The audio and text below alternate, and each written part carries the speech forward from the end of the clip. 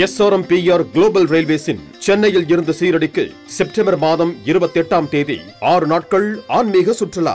முன்பதிவுக்கு eight double zero eight eight double zero eight double zero. Nellai Chennai உள்ளிட்ட ஒன்பது புதிய வந்தே பாரத் சேவைகளை காணொலி வாயிலாக தொடங்கி வைத்த பிரதமர் நரேந்திர மோடி வந்தே பாரத் ரயில்கள் மூலம் நாட்டின் அனைத்து பகுதிகளையும் இணைக்கும் நாள் வெகு தொலைவில் இல்லை என தெரிவித்துள்ளார்.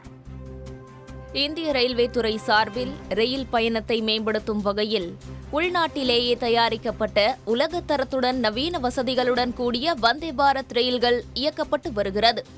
பயண தூரத்தை அதிவேகத்தில் கடப்பதால் இந்த ரயில்களுக்கு பயணிகள் மத்தியில் அமோக வரவேற்பு உள்ளது. நாடு முழுவதும் இதுவரை இருபத்தைந்து வழித்தடங்களில் ஐம்பது வந்தே பாரத் ரயில்கள் இயக்கப்பட்டு வருகிறது. தமிழகத்தில் முதல் வந்தே பாரத் ரயில் சென்னை கோவை இடையே கடந்த ஏப்ரல் மாதம் பிரதமர் நரேந்திர மோடி தொடங்கி வைத்தார். அதன் தொடர்ச்சியாக சென்னை மைசூரு இடையே வந்தே பாரத் ரயில் சேவை தொடங்கப்பட்டது.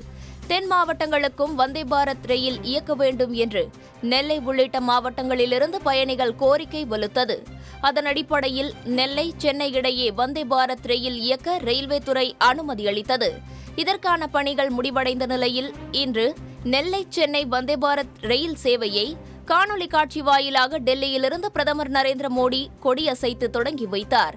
இந்த ரயிலுடன் விஜயவாடா சென்னை பெங்களூரு ஹைதராபாத் காசர்கோடு திருவனந்தபுரம் பூரி ரூர்கேலா உதய்பூர் ஜெய்ப்பூர் பாட்னா ஹவுரா ராஞ்சி ஹவுரா ஜாம்நகர் அகமதாபாத் ஆகிய வழித்தடங்களிலும் வந்தே பாரத் ரயில் சேவையை தொடங்கி வைத்தார். நிகழ்ச்சியில் உரையாற்றிய பிரதமர் வந்தே பாரத் ரயில்களில் ஒரு கோடியே பதினோரு லட்சம் பயணிகள் பயணித்து உள்ளனர் எனவும் வந்தே பாரத் ரயில்கள் நாட்டின் அனைத்து பகுதிகளையும் இணைக்கும் நாள் வெகு தொலைவில் இல்லை எனவும் தெரிவித்தார். சந்திராயன் த்ரீ வெற்றியால் சாமானியர்களின் எதிர்பார்ப்பு விண்ணை எட்டியது எனவும் ஜி டுவெண்டி உச்சி மாநாட்டின் வெற்றி மூலம் இந்தியாவின் மீதான நம்பிக்கை அதிகரித்து உள்ளது எனவும் குறிப்பிட்டார். பெண்கள் தலைமையிலான நமது வளர்ச்சியை உலகம் பாராட்டுவதாகவும் இதனை மேம்படுத்தவே மகளிர் இடஒதுக்கீட்டை அரசு கொண்டு வந்தது எனவும் கூறிய பிரதமர்.